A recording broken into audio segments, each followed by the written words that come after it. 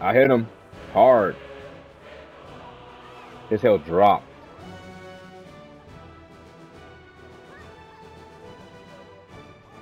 I don't think he. I don't think he hit the tower.